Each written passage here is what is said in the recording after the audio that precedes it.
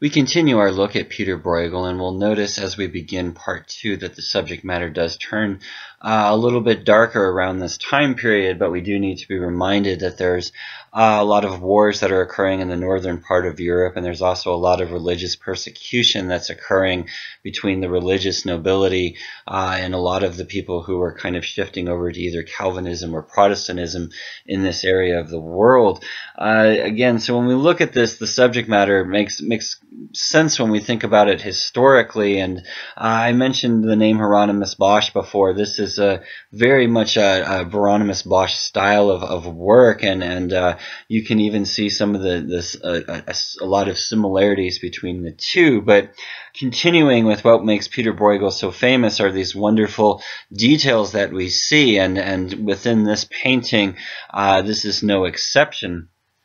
down in the bottom right corner is, is actually where we're looking here. And uh, one of the things I, I think is so remarkable, we have this major battle occurring with all of these different bodies going this way and that, and even this horse kind of riding over in the army of death uh, over there in the far right side. But in the midst of all of this, you'll notice that there's a, a, a backgammon board on the floor, and again, some playing cards, and uh, this atmosphere of, of game and, and even chance. And uh, maybe this is a reflection of Bruegel's ideology towards life and death at this time, that there is this aspect of chance that is occurring as to who's living and dying. And uh, maybe it's very appropriate that we actually do see these games uh, as part of the composition itself. Another wonderful detail is the musician over in the right corner. Moving forward, the Tower of Babel from 1563, there's two paintings that he does along this subject matter. This is probably the more famous of the two, uh, and this is an absolutely wonderful painting for all of the little details. And again, when we look at this, you, you really kind of have to look at the construction as being uh, directly influenced by Roman construction. We know that uh, Bruegel went around uh, Europe uh, uh, and did travel to Rome, so this would be uh, not something that would be that far off place. And, and the wonderful thing about this is we have over on the far right corner the construction of it and, and the observation of modern construction techniques that Bruegel actually did. Uh, we have this wonderful town over on the left side as well, and probably the most famous detail uh, down in the bottom left corner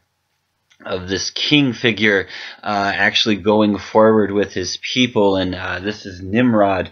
very famously, but could also be an allusion to uh, the monarchy that was ruling over the Netherlands at the time. Uh, and we have all of these people busily working or bowing down in front of this person. And uh, it's so wonderful because of the majesty that the tower creates, even though we know uh, the Tower of Babel eventually falls. Uh, uh, when we look at it, it does such a great job of making the people look so incredibly small and almost of little significance, like little insects crawling around. Even this mighty king uh, pales in comparison to this giant architecture. And again, just kind of a further reminder of of the point that of, of the story of the Tower of Babel that one should not uh, try to emulate or get as high as God uh, in this instance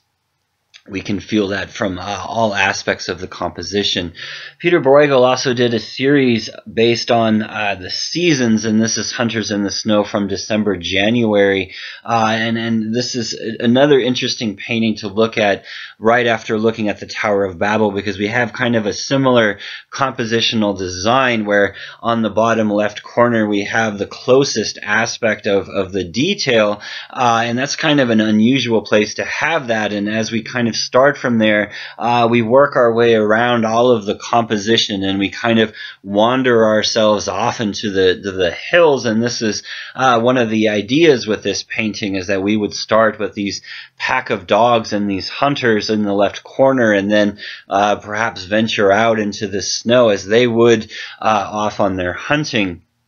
And again, this wonderful perspective that we have uh, moving along the harvesters from August and September. Uh, and the harvesters is a great piece because you'll notice there is many people not harvesting, uh, even more so than there are actually harvesting. This is this wonderful occasion we have of uh, these peasants kind of taking a break underneath the, the shade of a tree and enjoying uh, some food, if you will.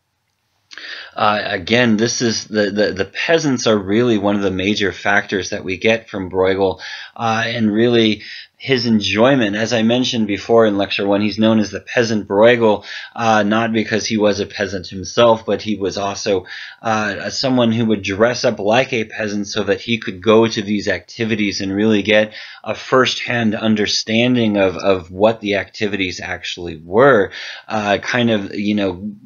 playing the role as much as anything.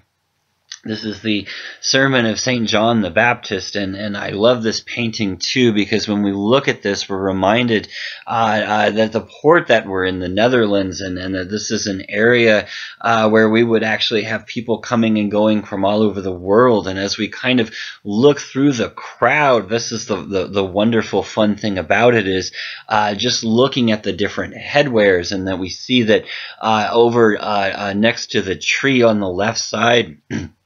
we have someone that could be perceived as being uh, from the Middle East, and then uh, uh, what we have in, in the lower ground, we have one of these broad straw hats that perhaps we could see uh, someone from the Far East occupying as well. And as we look through all of these different throngs and all of these different types of people, uh, again,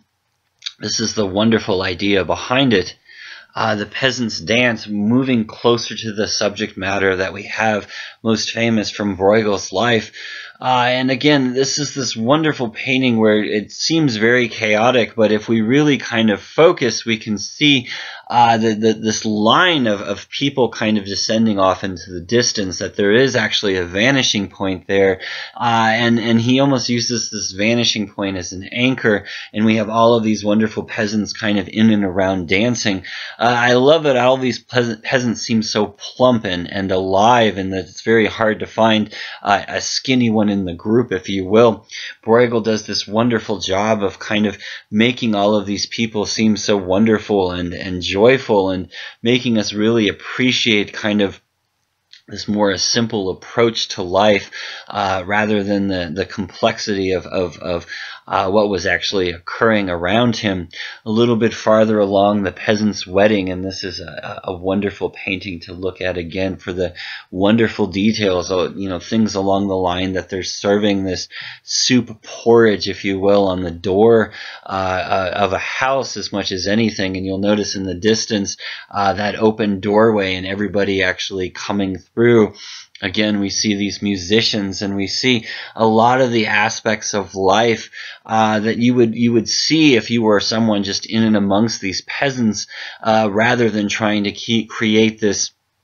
overly idyllic situation. Uh, what Bruegel is actually doing is he's going through uh, and very much creating this wonderful reality that's a little bit fictitious, I imagine, in all the warmth and charm, but uh, again, very much an enjoyable thing. And there at the, the very bottom, we have one of my favorite details this child uh, with a very, very large hat and this